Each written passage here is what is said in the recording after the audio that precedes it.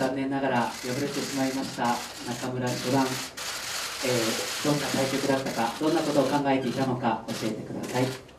緊張してあんまりうまくいけない。敗れてしまった今の気持ちはどんなお気持ちですか？